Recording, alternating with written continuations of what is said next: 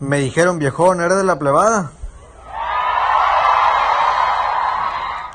Y yo le dije, viejo, soy gente del sombrero.